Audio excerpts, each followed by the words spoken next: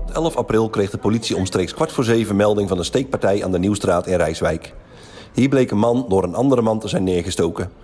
De steekpartij vond plaats in het pand waar arbeidsmigranten zijn gevestigd. Een traumahelikopter kwam ter plaatse voor de medische assistentie. De man is in zeer zorgwekkende toestand per ambulance naar het ziekenhuis gebracht. De recherche doet nader onderzoek naar het incident. Er is één verdachte aangehouden.